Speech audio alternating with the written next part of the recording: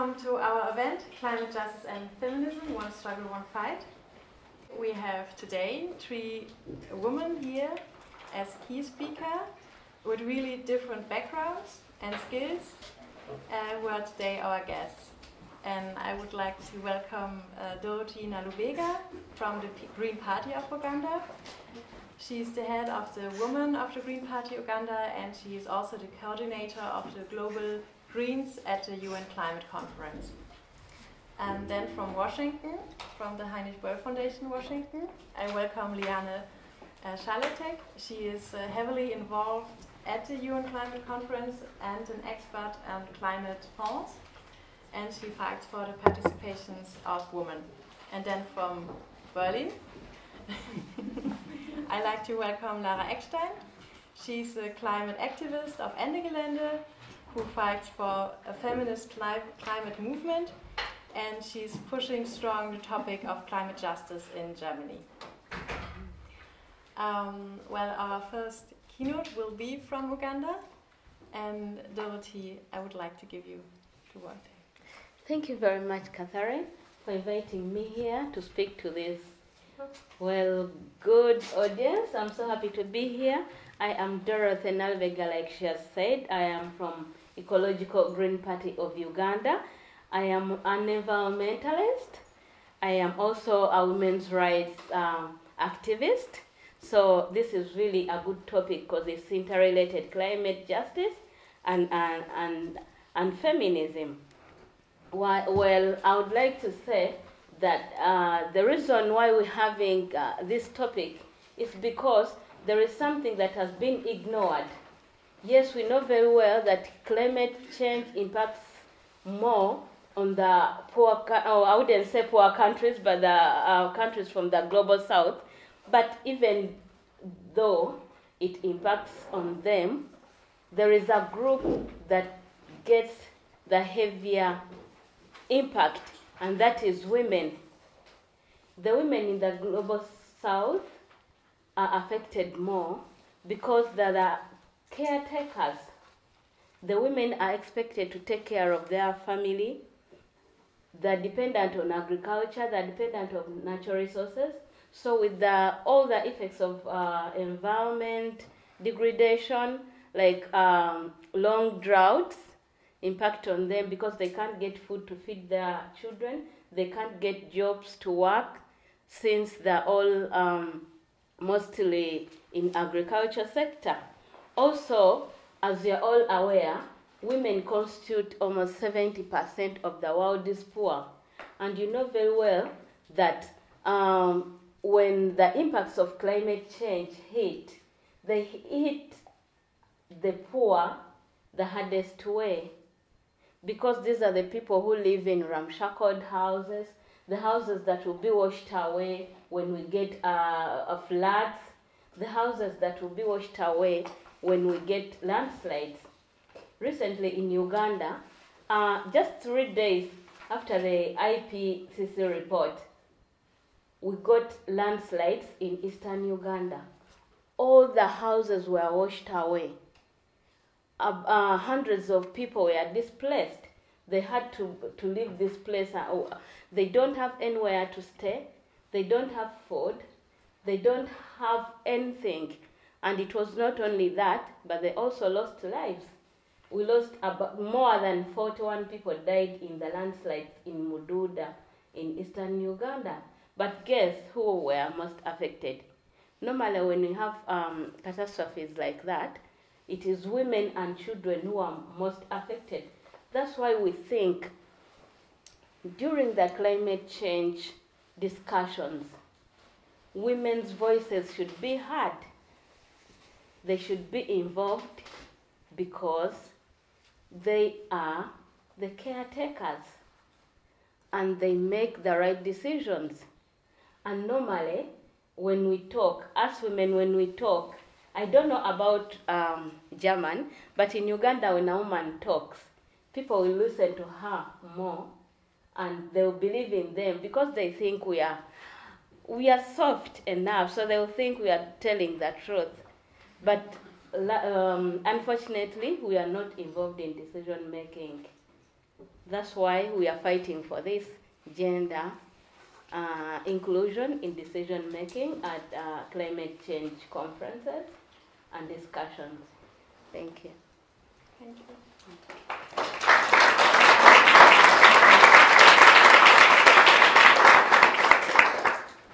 Liane, would you like to?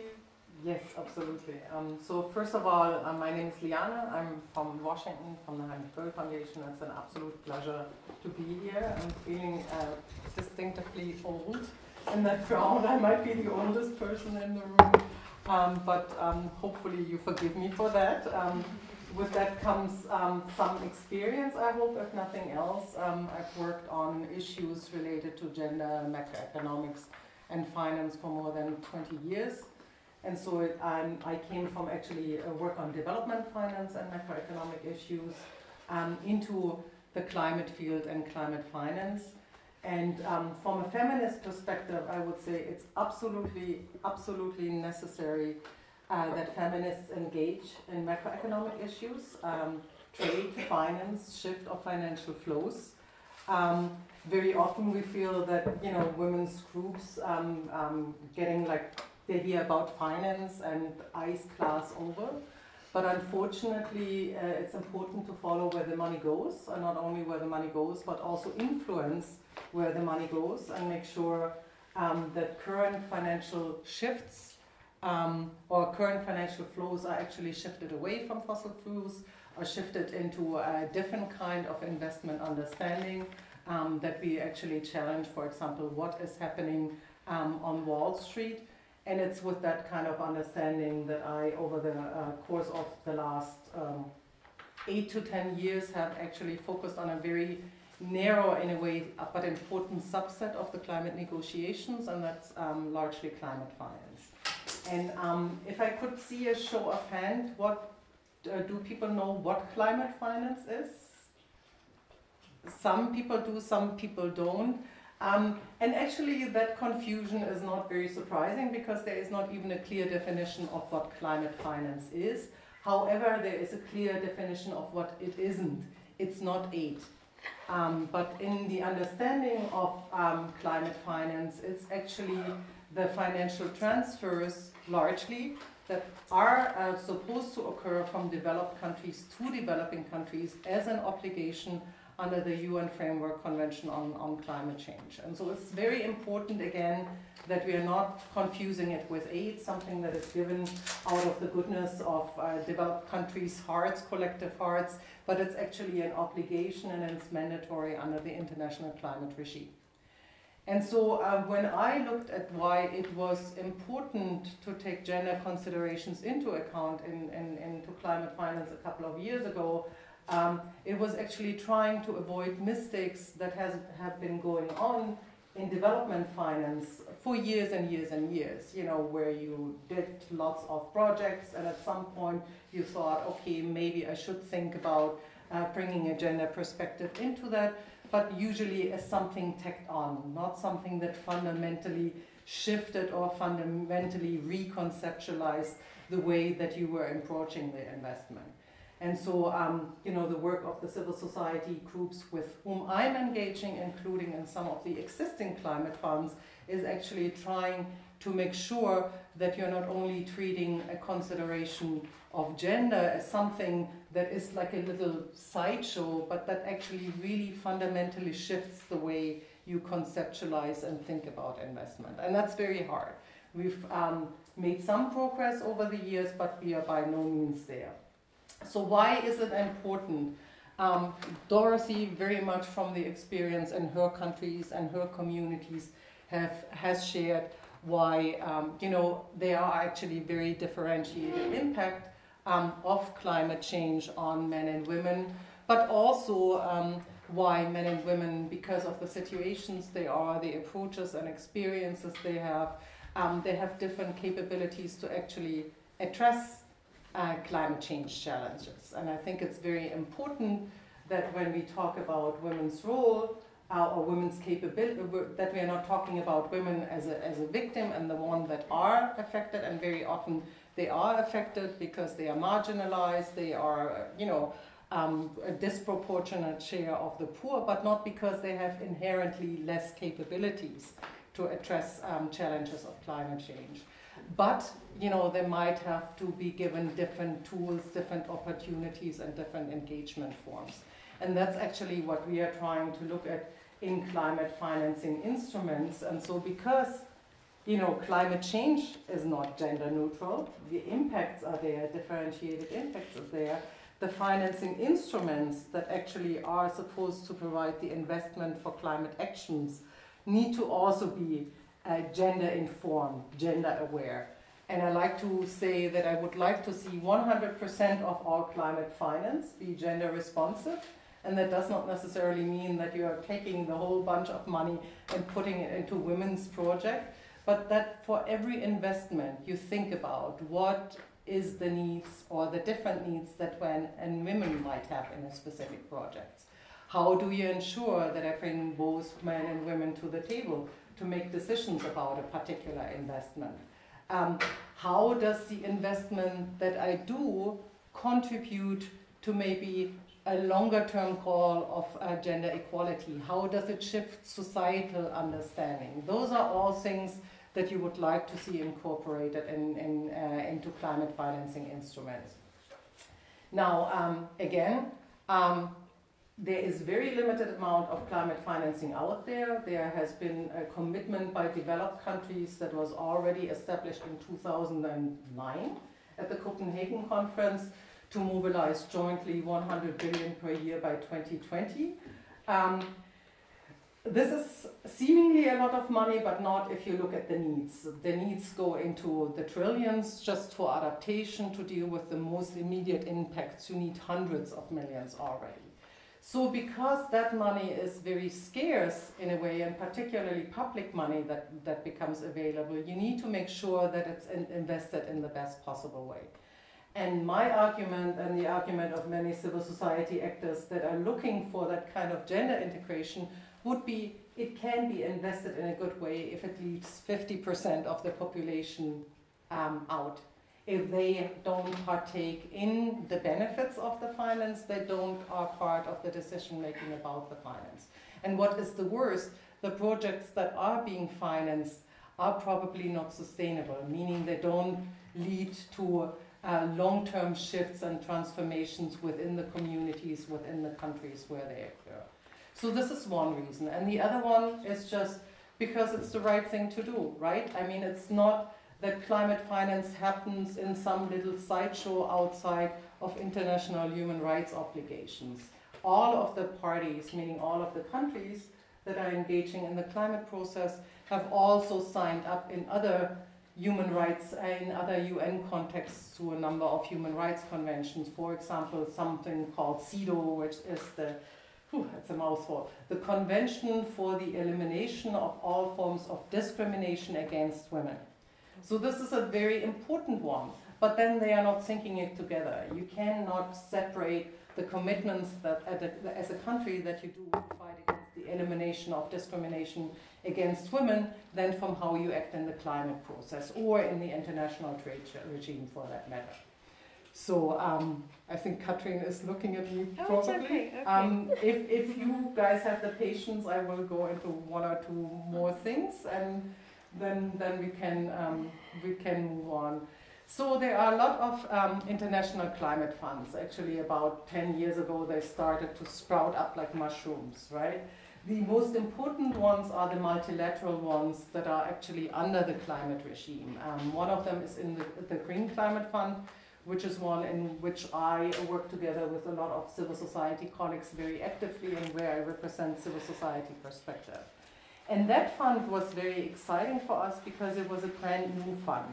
So our goal or our hope and expectation was that by creating an institution more or less from scratch, you could avoid some of the other mistakes and try to bring in a gender perspective from the very beginning.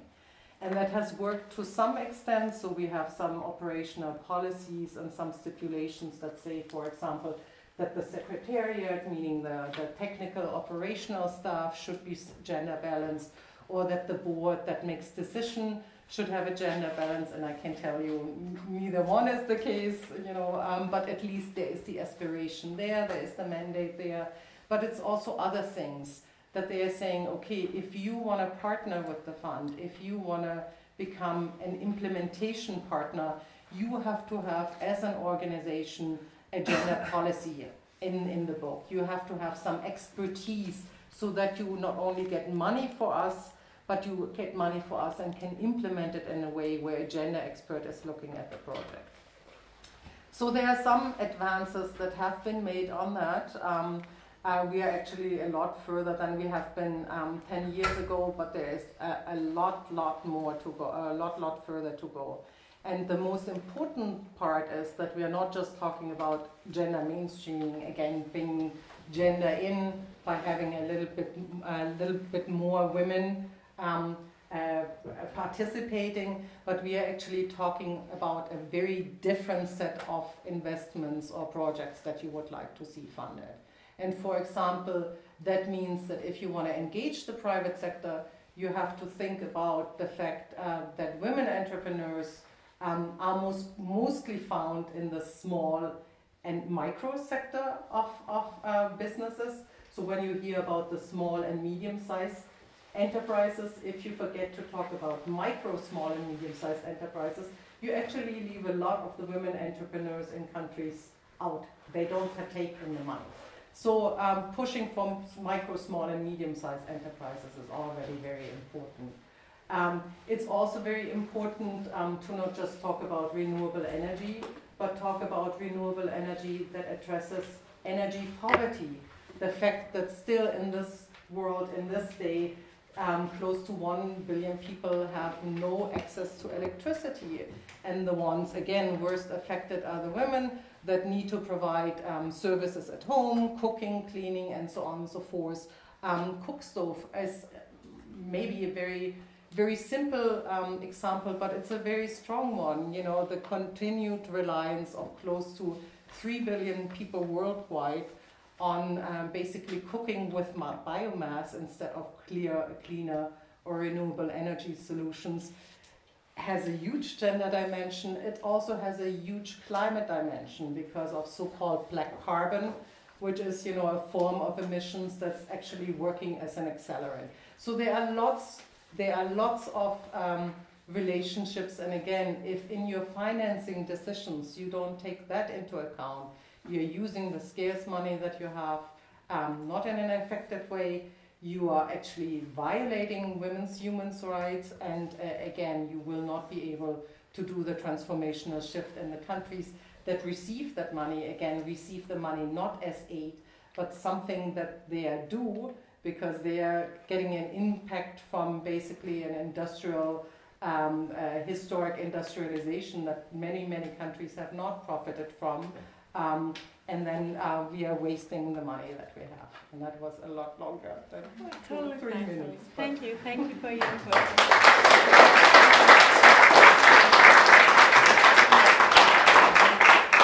so, Clara, what are your perspective as yeah, I would, I would kind of uh, bring in um, kind of a perspective from the grassroots climate justice movement. So um, I think Kathrin asked me to uh, tell a bit about what the climate justice movement is, what the feminist climate justice movement is, and what is happening and how you can get involved if you want. Mm, so I will try to quickly talk about this.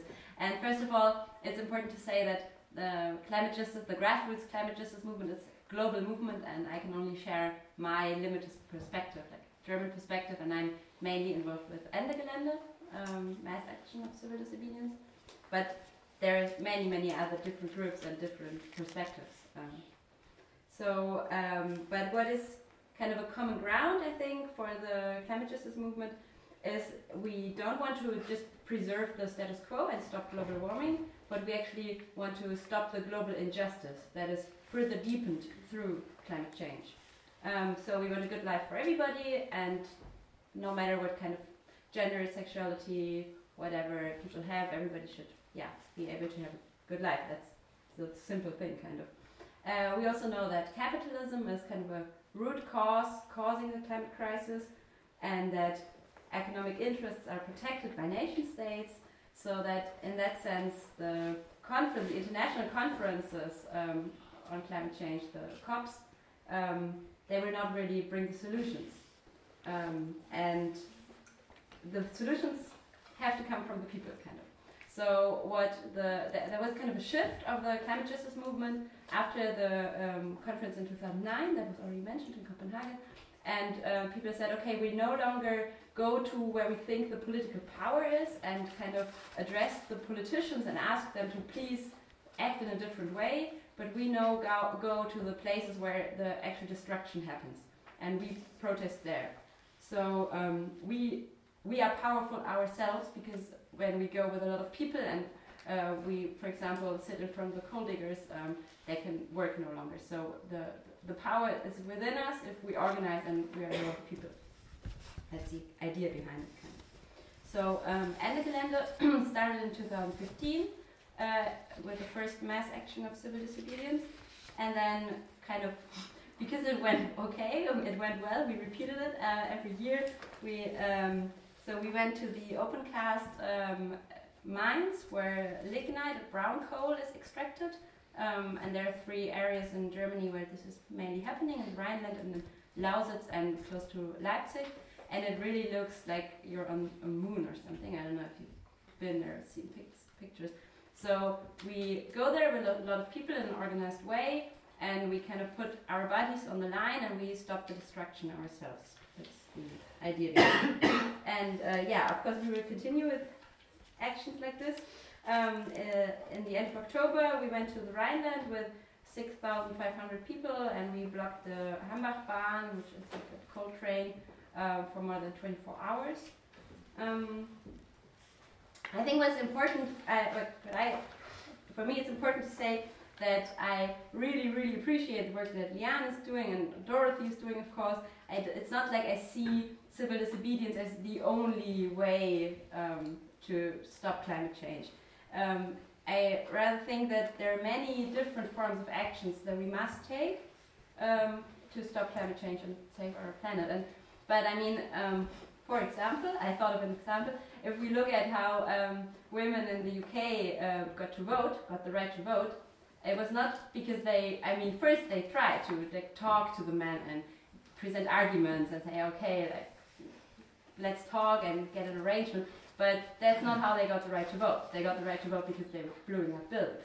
And I'm not saying we should make Molotov cocktails tomorrow, for sure not, but, but I think we need to keep in mind that those who are in power will never give up power voluntarily. Um, and we will always need a wide range of different forms of action to shift power structures. And actually a really good example of how that kind of worked, at least for now, is how we saved the Hambach forest.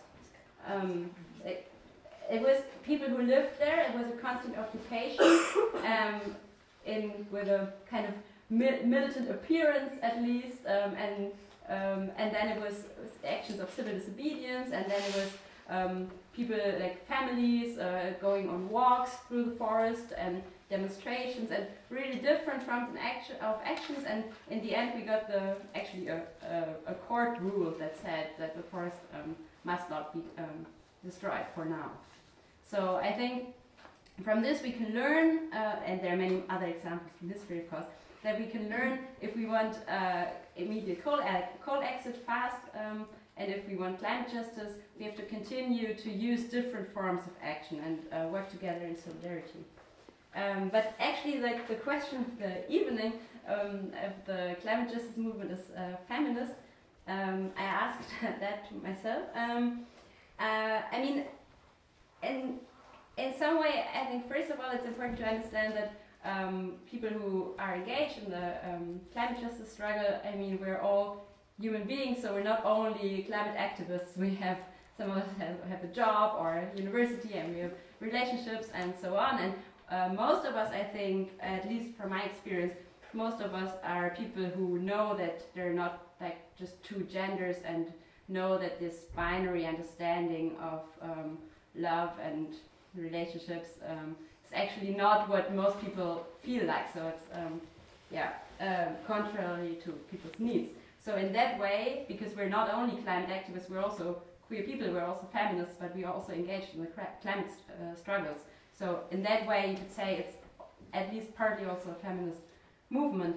But also um, on the political level, um, I think that the struggles for climate justice are inherently feminist struggles. And we've heard from Uganda and um, we've heard from Liane how women are affected differently. But also, if we look here um, in the global north, for example, um, these open cast uh, mines, they also um, like pollute uh, kind of fine particles, and people get sick from that. From that, and if we think about uh, children getting sick from these fine particles, who will take care for them? I mean, even in Germany, it's in families, it's mainly the responsibility of women to take care of children or of elderly people or of sick people, and also in our society, like who are the nurses, who is who's working in kindergarten, etc. All this burden of extra care is taken mainly on women, not only in Uganda, also in Germany. Um, and another example would be um, if we um, like going by car is a thing that just from statistics, men do it more often. It's more mostly men that own cars, and men take the car more often. So if we would now start to rebuild our cities and make more biking paths and make like sidewalks uh, easier to walk, and we make free public transportation, that would be just in the way that women would benefit and elderly people would benefit and children would benefit, all those who don't have car or can't use the car. But it would also be good for the environment. So it would be a so like a feminist thing to do, and it will also be um, a, a, climate thing to do. So and there are many more examples where these you can see how things go together. Uh, so I would say all those who think they're feminists should also engage in the climate struggle in, in some way, but at the same time, when we strive for climate justice, we should also have this um, gender justice perspective. Kind of. Um, but now I think maybe you wonder, is it feminist to block a coal digger or something? Um, and I would say it depends on how you do it. I mean, can also be feminist to bake a cake. It depends on how you do it. So, for me personally, I have to say it was something really, really empowering to see or to feel what I can do with my body. Um, like sitting on a coal track, and just because I'm sitting here, the coal cannot go from the pit to the uh, power plant because I'm sitting here and then thousands of other people are also sitting there. It was a really, for me, a really bodily experience. And I think if you're a person raised in a society that always tells you your body is not good enough, or you should do that, or you should buy that in order to like have a good body and be happy and be pretty, um, for me it was something really good to kind of feel how powerful my body is just as it is, kind of. And I think this is something that everybody, like all people of all gender, can experience in these um, actions of civil disobedience. Um, and also the climate justice movement, as I got to know it, is really special in the way that first of all, there are a lot of really great and tough and intelligent female persons who just speak out and don't care about kind of gender expectations. They just do what they think is the right thing to do. But there are also a lot of really great guys who don't like give you a long talk of how feminist they are and how great they think feminist, feminism is, but who they they would just like maybe just shut up and just listen or just take a step back or just see okay there are dishes and they need to be done and then they would just do it without like making a scene about it and this is like both of these things like um, or these kind of people is something that I um, really like about the climate justice movement. But at the same time, to be honest, and um, I will maybe finish with this, when you do civil disobedience, it's uh, kind of an extreme situation and you have a lot of adrenaline. And this is some situation where, for some people, like some people then really tend to play the, the tough guy. Um, in German, we say rummackern. And this is kind of a constant challenge um, because our actions they are they don't take part like separate from society. We're all um, coming from the society, and it's a constant challenge um, in actions of civil disobedience to not fall back into these gender cliches, I think. Um, but we're trying.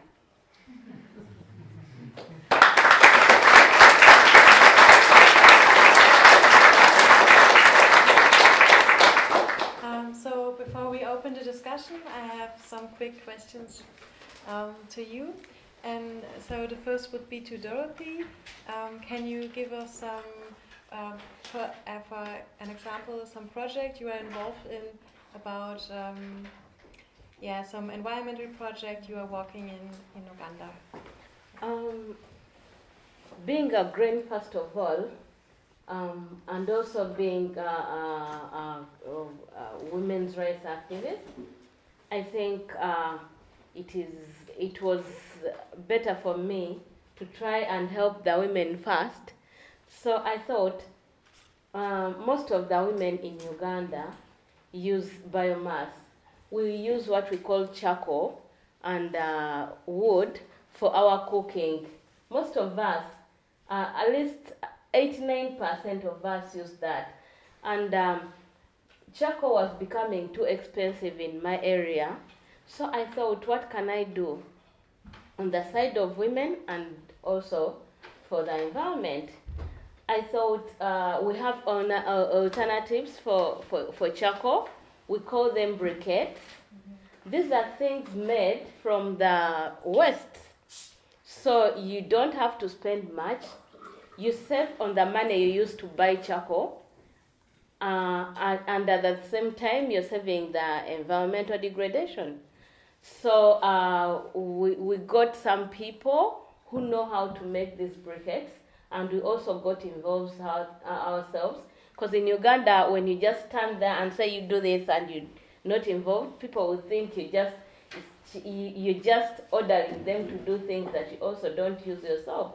So I had to learn first, and then uh, invite some other people to help me, and uh, also got involved. So um, we decide uh, we decided to uh, to gather the wastes from our banana peels and also other wastes to make uh, briquettes which we use. Uh, the women use those briquettes to cook and also sell the extra. So I've been uh, going through that area to see whether the women are really using that, and I was so happy to see some of the small business owners using such briquettes that we made and also starting to gather the, the waste to do the briquettes. We also have uh, another thing which is called um, energy saving stoves. You see, we should start with these small things.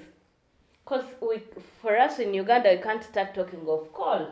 We have to use what we have there.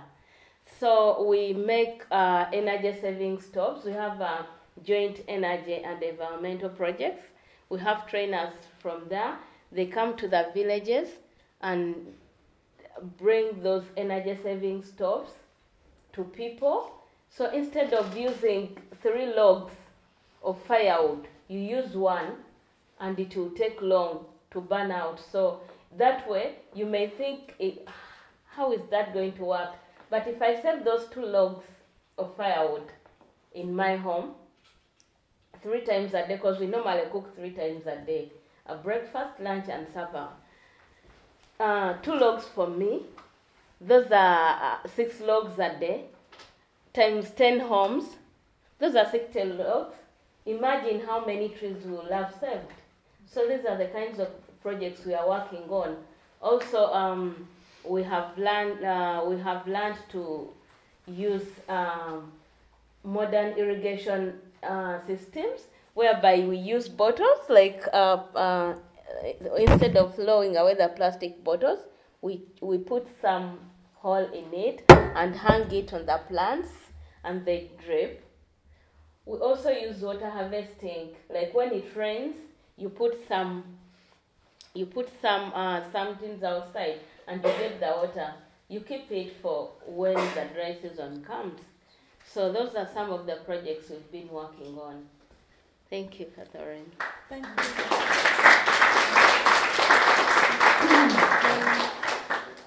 I just have uh, one question more for you because yeah. you're also involved in the UN Climate Conference and have a lot of experience.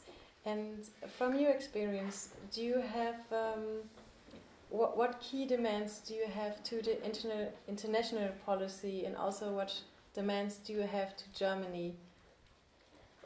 Ah, the demands I have to Germany actually is uh, I want especially the feminist group in Germany to help the feminist group in Uganda to fight one um, the feminist group in Uganda don't know that they should also uh, fight for climate justice. They think they only fight gender based violence, but it is related because some of the causes of gender based violence, uh, I'll give you an example. In Uganda, us, the women, spend more time in the gardens than men. But imagine you spending uh, uh, much longer time on the farms, and when the yields come, it is the man to decide how much to take to the market. Uh, he determines how much we should sell the, the, the, the yields. And when the money comes, he decides on how to use it. Oh my God, this is so annoying. How can I take that? So, um, if you find someone like me, I won't allow you to do that. And what comes next? Of course, we are going to fight. And that is one of uh, the gender based violences. So, when this feminist group uh, um, and when, they demand for peace in homes, they demand for, but they don't look at the root causes. So I think uh, feminist groups in German should work hand in hand with the feminist groups in Uganda or in Kenya or in the global south to teach them to involve, like to think about climate change, crisis, and uh, climate justice. Oh, also, I would like to demand, it's not a demand, it's a request. I would like to request that um, you, uh, German, German or people from the global north, facilitate the involvement of women at uh, climate change uh, conferences like COP, like COP, because uh, even after the the gender action plan in, on COP23, in, which was in Bonn, still the governments have failed to put it in practice. Uh, we had uh, we had a consultative meeting in Uganda, and they were yes, they tried to invite women just because it didn't cost anything, but women were so green about climate change. You talk of climate change mitigation, you talk of adaptation, you, talk, you talk of resilience, and they don't know these things. And you ask, how many of you are going to COP24? And it's only men. Because the governments have not tried to uh, like send more men, more women. So they, they, they, they read it, they, but it just remained on paper. So I demand that um, German uh, tries to fix that somehow. so also at COP, I request that um, uh, German or other countries present re-emphasize that gender action plan be put in practice, be implemented, that it should not only remain on paper, but it should be implemented. The other request to German as an, an international policy is uh, I'm very much aware of the donations we get from German, but I demand that the government of German in its foreign policy um, puts uh, conditions on the grants they give us. Mm-hmm. Tell them, yes, Uganda government, I'm giving you this maybe for, for mobility, like to ease mobility, but you should first prove to me that what you're going to do is uh, gender sensitive. That there is, because uh, there are some tools like gender budgeting. Some organizations have tried to, to, to teach, like government officials, but they don't even mind about it. So I demand that you put conditions on the on the governments and tell them you look you should do this and also this will also try uh, to see that it is like a monitoring tool also. You know, Uganda is a, sin- a signatory to some of the commitments, international commitments on human rights, like the Convention on uh, Elimination of All Forms of Discrimination Against Women, the CEDAW. But it's just on paper. It's not implemented. We still see a lot of inequalities, and you, you've already seen how um, gender equality and climate change are uh, interrelated. So um, it should be like a tool to monitor whether these uh, uh, uh, commitments are really uh, implemented in order for us to realize climate um, uh, climate change um, adaptation. So I think that would be my demands. Thank you very much. Thank you.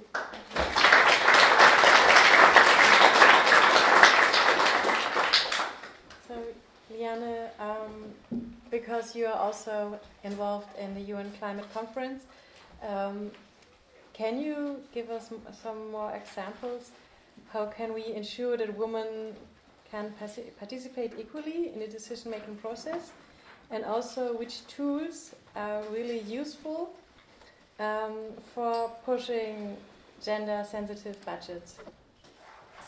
Okay, um, has a couple of layers. Um, so within the climate negotiations, I mean, uh, the one point that that um, Dorothea mentioned um, uh, is is very pertinent, and that's just increasing in the country delegations that you have uh, the participation of women, uh, and not just for the participation of women's sake, um, but uh, just because having more women in, in room and um, again, it would be important that those women then as experts are involved in all the strands of negotiation. So not just talking about adaptation or capacity building, but also talking about mitigation, technology and finance, because it shapes um, the discourses, it changes the discourses. And that's exactly what we need. We need to get away from the business as usual approaches and discussions, but actually widen with the diversity of perspective the approaches that we are thinking about. So I think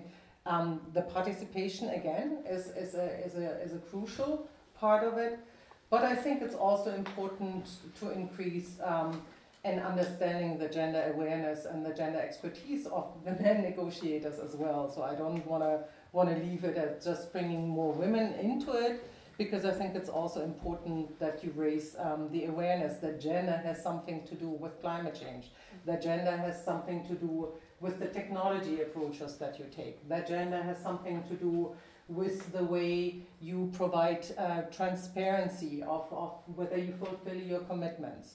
So right now, um, when you look at the, the COP24, meaning the, the um, climate conference that next week is starting in Katowice in Poland, um, there the idea is to actually decide on quote unquote the rule book, which is basically the operational guidelines for implementing the Paris Agreement.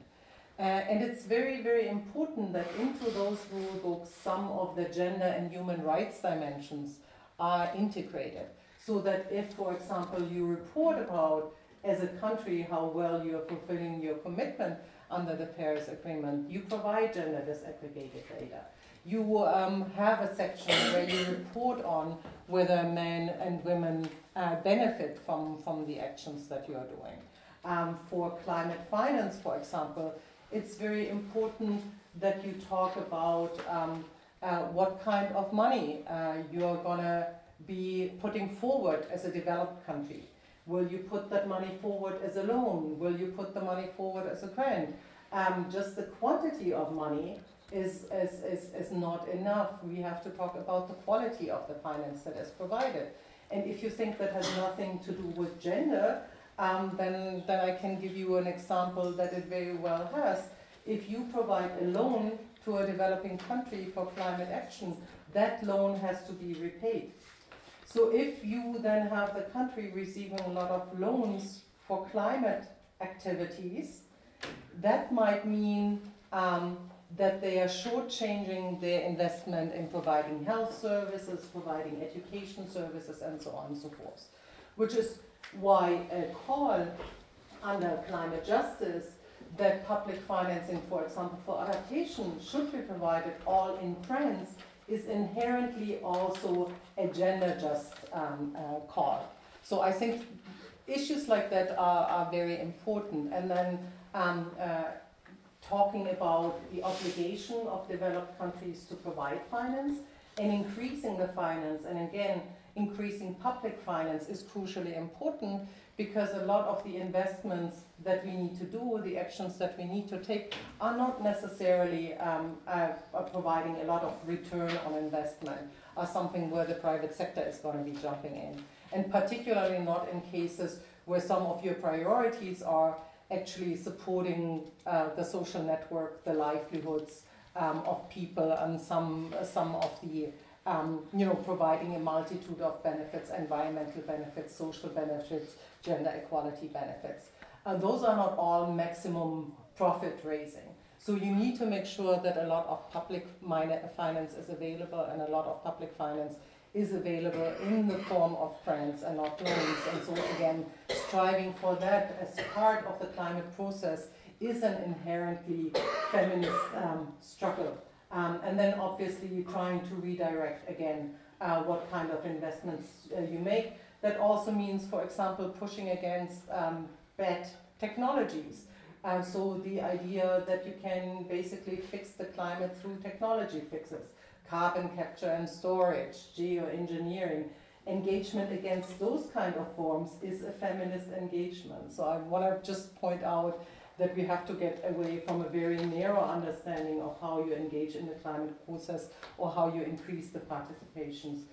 What are some really useful tools? Um, um, um, again, I think some of the useful tools are definitely gender analysis. Um, the fact that you um, provide more data, gender differentiated data is very important. Um, that you also have, I think for me, one of the most effective tools is actually that interplay that um, Laura, Lara, sorry, was talking about, meaning that you actually have women activists and feminist activists um, that are engaging in multiple forms. Again, I think that it might just be because I'm a, I'm a geek, that it's a very feminist engagement to try to understand, um, you know, the intricacies of financing approaches and then to try to undermine basically how financing is provided or find new forms to make um, make sure that women and men and everybody in between can benefit from it, right? Or to fight, for example, in a in a in a, in a public fund uh, for a gender um, policy that goes beyond the binary approach, uh, even if that incurs a lot of backlash. Um, it is feminist, you know, to, to do the engagement uh, uh, um, the, of civil disobedience and mass organizations.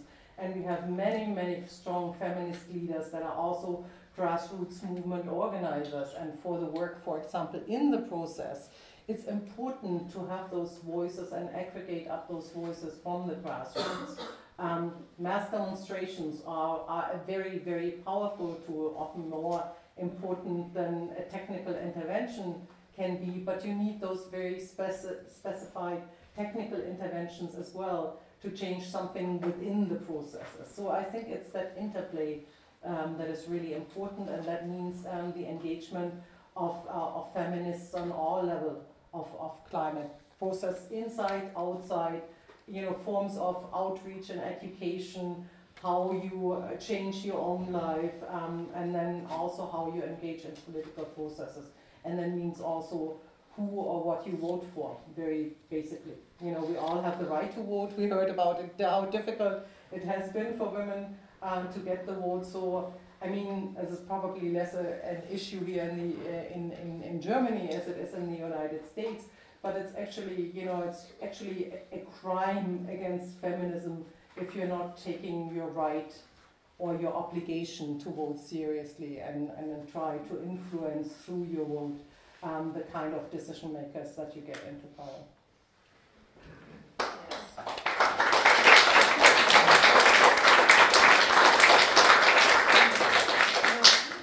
Uh, before I open the discussion, I have one last question to Lara. And uh, well, we can vote in Germany, but still man decides in Germany the climate policy because they are sitting in the government places.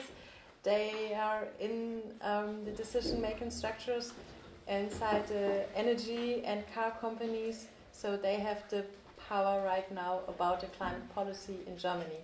So, is it enough to just, um, well, to push uh, an equal participation inside the system, or do we need to change something more?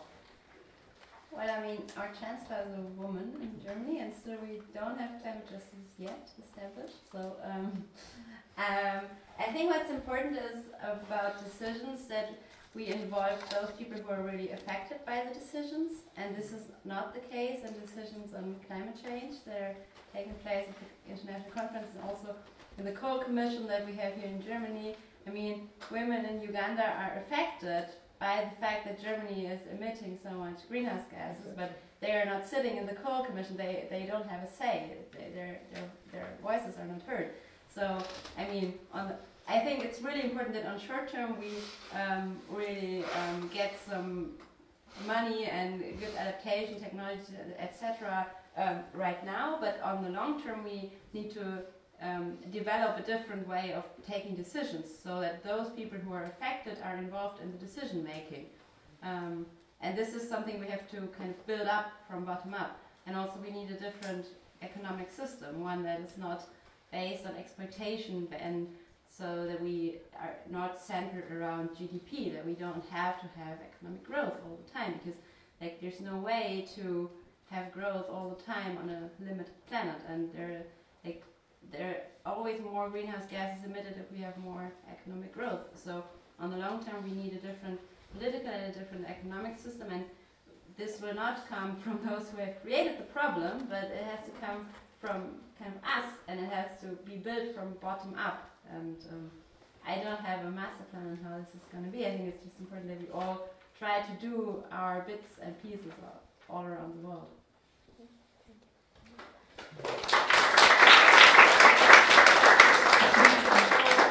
Uh, from your really different perspective, what are your hopes and goals for the future? What should happen? And why is it important to get involved?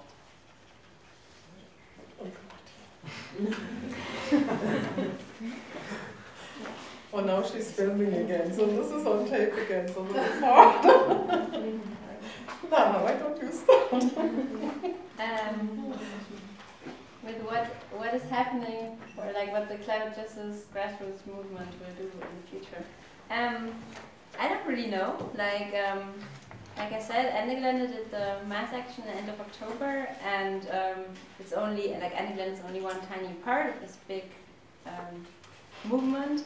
So there are different, a lot of different other groups. Um, like this year, we also had a mass action of civil disobedience in the Czech Republic and one in the Netherlands.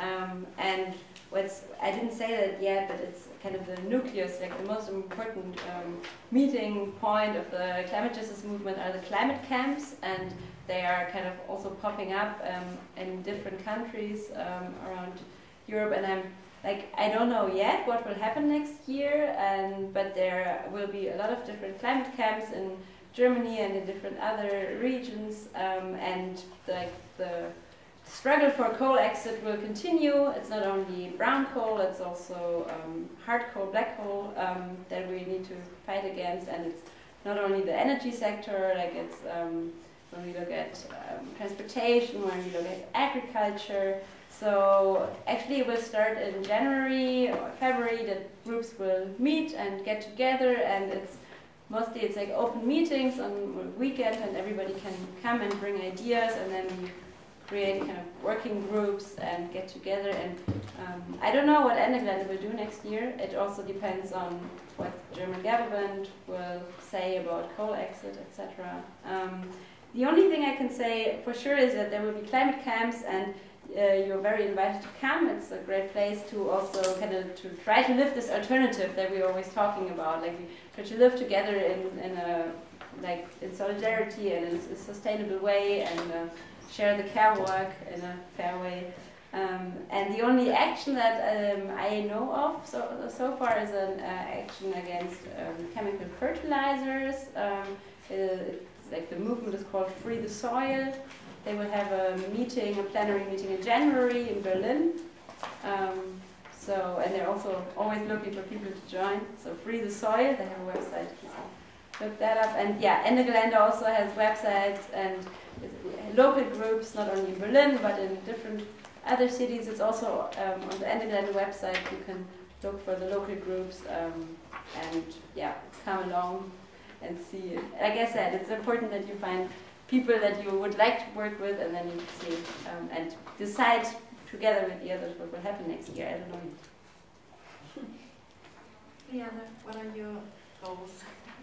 Okay, so my personal goal, um, and and that's probably what I'm what I'm trying to stay engaged in, is actually really getting um, uh, to a place. Well, it's it's several goals. One is I would really like to see a lot more groups, uh, feminist groups particularly, um, not shy away from macroeconomics and financial um, topics. Um, do some of the grunt work of that engagement because I think it's it's in, it's important because sometimes in order to understand what you don't want, you need to understand how certain things function, um, and also um, to the extent, and not everybody wants to do that, but to the extent that some of us have to engage in the structures, with the structures, with the politicians, it's very important to find access points or ways of undermining business as usual approaches. So I think for that, that kind of technical understanding, and again, not everybody can do it, um, but I would like to have a lot more feminists engaging in those discourses or not shying away from, from macroeconomics and finance discussions. On a personal level, I would like to um, if I'm still doing that in 10 years, um, not, not see any blank stares anymore when I say, you know, I want 100% of um, climate finance to be gender responsive, human rights centered and based and, and contributing, you know, to um, community owned, community participated um, approaches in, in recipient countries. That would be my goal. And also making sure that those um, climate instruments that you have, like climate funds, are actually um, making it their priority to give money not just to governments, but a lot of the communities and the groups, including women groups directly, and create avenues to make that possible. And if we achieve that or even move um, a, a further bunch of steps or a long way towards that, I would be extremely happy. Thank you. Dorothy. Yeah, um, like I said, I'm from the green part of Uganda, and my goal would be actually for us to take power.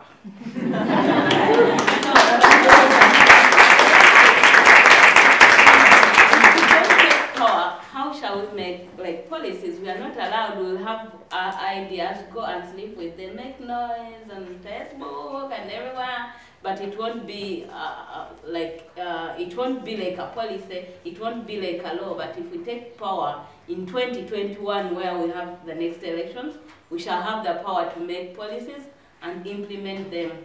That's my thinking as a Green Party member. Thank you all for being here.